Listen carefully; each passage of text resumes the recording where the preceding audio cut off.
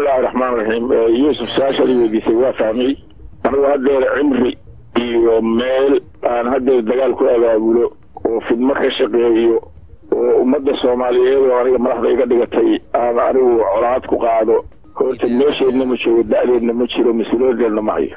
Wax colaadaan abaabulayaa ma jiraan ahayn oo aan ka shaqeeyaana ma jiraan. Ninkii isagu been sheegayaa yeelkiis anigu marna ma heydisin kumana talagelin.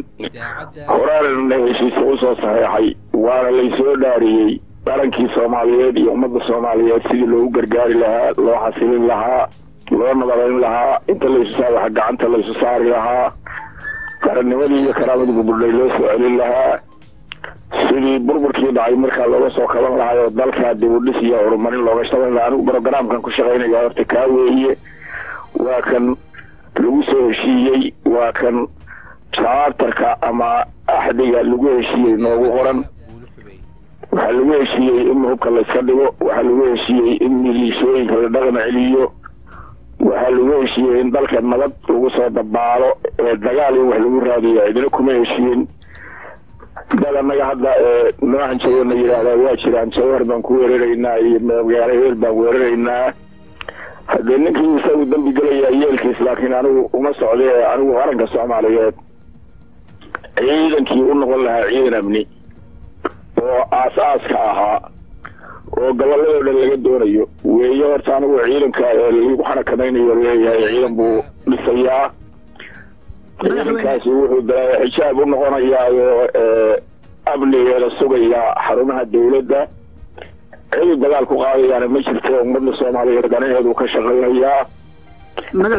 ugu horreeyey oo qaran dib u soo noolaynta ciidankii qaranka oo burburay. Waxa weeye aas-aaskiisii wax kale oo ulajeedaaho laga leeyahana haba yaraatee ma jiraan waan ku gartay laakiin sidaad adiguba fahmi karto meesha soomaalidu aad bay isaga warqabtaa dhaqdhaqaaq ciidan ayaa la arkay ciidanka ku soo gaaray tiradiisa hubkiisa dad badan baa hadal hayay. Marka adigu inaad ummadda u fasirto oo waxa aad samaynayso ciidanka meesha yimid waxa uu yahay iyo waxa uu qabanayo iyo tayadiisa ama tababarkiisa ama hubkiisa wuxuu yahay inaad dadka u fasirto. Sow qayb ka mida maaha hawshaadi inaad dadka u sheegto waxaad qabanayso. Yuusuf taada su'aal maaha hadda si kala weeye ha ahaatee waxaan kugu eeyey horaa waxa loogu heshiiyey oo loo wada saxeexay. Oo nimankii faction leaders la odhan jiray iyo civil society iyo ummadda soomaaliyeed dhammaanteed ugu heshiiyeen nin waliba ciidan iyo hub wuxuu hayo inuu dawladda ku soo wareejiyo. Anigu waxaan hayabaan dawladda ku soo wareejiyey hubkaan hayay baan ku soo wareejiyey ciidankii baan ku soo wareejiyey. Nin baa laga sheegay haddaan wax hagaajiyena geel baan ceelkanayo waraabiyey. Haddaan waxgeeyana bardo ceel baan geelkeenayo waraabiyey. Marka wixii laysu aan fuliyey in haddeer aniga laygu eedeeyo ragga igu eedeynayaana markaa ciidamadii iyago ay gacanta ku hayeen iyo hubka ay keeni waayaan. Haddana idaacayuhu ka dhegaystaan oo ka rumaystaan waxay sheegayaan inay wax ka jiraan. Isugalaado ayaan darre wey madaxweyne ninkii wax kale ujeeda ninkii wax kale u jeedaa isagaa muuqan doona. Ninkii soomaali weerara waa la arki doonaa adigu waa taqaan dadka ku baana oo yidhaahdaan magaaladay dawladdu degtaan weeraraynaa car magaalo hebel hala dego. Waxna kama weydiisaan mana ku eedaysaan. Iyaguna haatan weli waxaad moodaa inay isla quman yihiin. Dalka nin male fakshin male qoys male dalka soomaalidaa le ilaahbaa leh soomaali baana ilaahay wakiil uga dhigtay soomaaliyina dawlad bay dhisatay. Sharci iyo nidaam baa lagu dhisay. Kii baanu ku soconnaa kii baanu ilaalinaynaa qarankii soomaaliyeed sidii uu u hirgeli lahaa oo dib ugu dhismi lahaa. Oo waxaa sida lahaa dalkani baan ka shaqaynaynaa ninkii nagu eedayo markaa anagu danka geli mayno laakiin nin waliba waajib baa saaran oo dalkiiyo dadka ka saaran waajib ka saaran waxaa loo baahan yahay. Kaalintiisa inuu qaataayo furiya. Haddii kelmadaadu siday tahay loo raaco oo ah in aad in aadan wax dagaal iyo colaad ah abaabulaynin. Haddana raggaas aad sheegtay ee khilaafka weyn idinka dhexeeya xagga siyaasadda ah ee ciidanka haysta iyo adigoo ciidan meeshan ku diyaarinaya jawhar ah kala shakigaas iyo khatartaas dhibaatadii ka timaada iyadu sow sow mid in laga fikero u baahan soo maaha ninkii waxbiiyaha yuusuf wuxuu yeelanayaa eedoo dhan yeelanaya dembiga yeelanaya soomaaliya horteeda ku ceegoobaya dadka soomaaliyeedna waa noo jeedaa waana naga garasho badan yahay oo naga aqoon badan yahay eegay ninka ku baanaya anigu meeshii dawladda digtaan la dirirayaa macnuhu waxa weye dawlad ma raba wey nin kale maxaa ciidan qaran loo dhisayaana waxa weeye dawlad ma raba waayo dawladii rukunkay ku taagan tahay waa ciidan nin kale anigu saan rabo haddii aan la yeelin daw laga siin mayana dee nimaan dawlad iyo nabad midna rabin weeye marka waa in la kala aqoonsadaa dadka nabadda iyo qarannimada iyo xasiloonida iyo danta ummadda soomaaliyeed ka shaqaynaya iyo dadka ka soo horjeeda oo arrinta inay sidaa iska ahaato dalku uu ku abaado civil warki shan iyo tobanka sano socday inaad kala garataan baa rabaa b b c haddaad ka shaqaysaan. Dadweynaha soomaaliyeedna waxaan uga digayaa dadka warxumo tashiilka ah oo dadka wax wanaajinaya inay wax biinayaan uga dhiga inay ka waantoogaan qarannimada dadweynaha soomaaliyeed baa leh. Dawladda dadweynaha soomaaliyeed baa dhistay danta ummadda in loo shaqeeyo weeye. Waxa ayaan dheg loo dhigin wixii wax biinaya fartaa lagu fiiqo laysla tilmaamo wixii wax hagaajinayana de waa in loo qiraayo lagu amaana. Wasiir dawladaada ku jira oo magaalada beledweynehan ka wareysanay laba cisho ka hor waxa uu kugu eedeeyey in ciidamadii puntland ka yimid iyo kuwii hiiraan ka yimid aad si kala duwan ula dhaqantay oo waxyaabaad ku wada hadasheen iyaga markaaad goday isku aragteen wasiirada reer hiiraan wax ka duwan aad samaysay oo ah in ciidankii la yidhi ilaa jawhar tagtaan hub laydinma siinayo taasna gadood ay keentay arrintaas iyada maxaad uga jawaabaysaa madaxweyne? Adeer anigu sarkaalkeena u jawaabo ma rabo maxaa yeelay ninkii waxaan loo baahnayn ku hadla ummadda soomaaliyeed oo dhan baa dhegaysanaysa qiimihiisa iyo dadnimadiisu intay la eg tahana halkaasaa laga cabirayaa anigu horta isaga u jawaabamaya intaa wey tan labaad waxna ma kala soocin nidaam iyo sharci baa la rabaa miliishiya hubaysan baa la rabaa miliishiyadii hubaysnayd ninkii keeni waaya hubkii aan haystay aan haysto hubna iigu dara anoo guriga ii joogana dee wax layska yeelo wax lays yidhaaba maaha. Anigu hubaan keenay iyo hubaan dad u qaybiyey magaciisa ma jiro.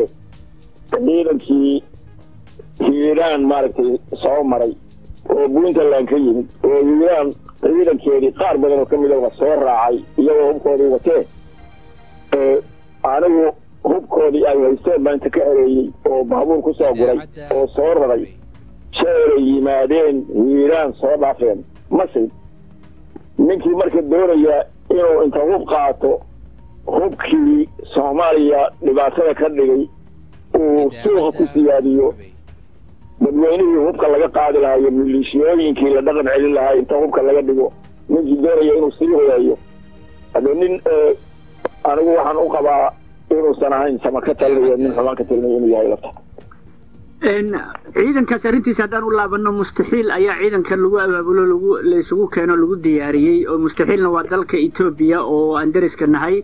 Soomaaliya ay deriska yihiin isla markaasna adiga aad lagugu tirinayay dhinacaas in aad gacansaar hoose leedihiin. Welibana qaar dawladdaada ka mida waxaad isku khilaafsantihiin ay ka mid tahay. Marka maxaa kalifay ciidankan in etoobiya lagu diyaariyo oo soomaaliya gudaheeda loogu diyaarin waayo?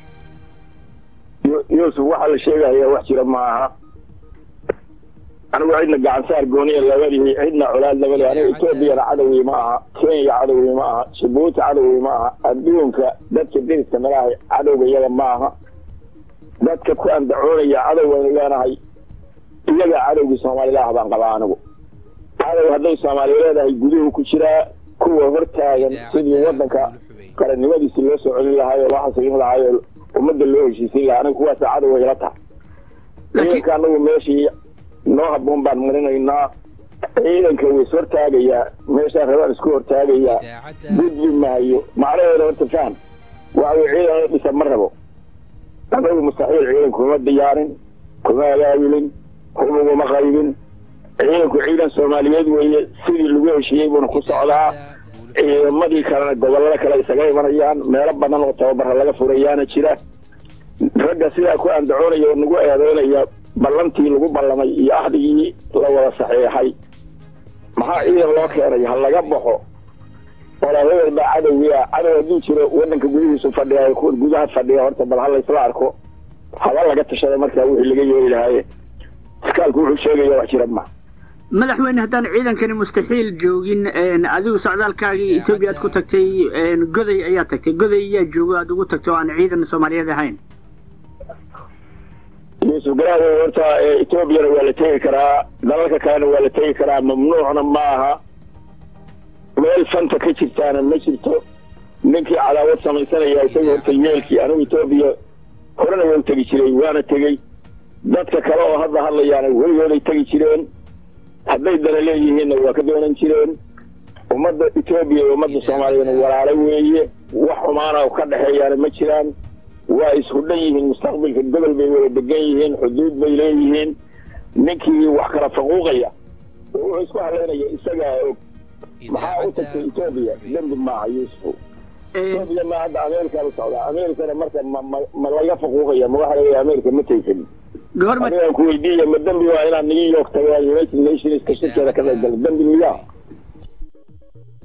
Dembi kolley uma arko taas waxaan ku weydiiyey madaxweyne haddaan ku su'aalo kale u laabto beryo dhaweyd waxaa jiray khilaaf ra'iisul wasaaraha iyo soo dhex galay maamulka maamul goboleedka puntland ee adigu hore aad madax ugu ahaan jirtay oo ku saabsan shidaal la yidhi waxaa laga baarayaa puntland.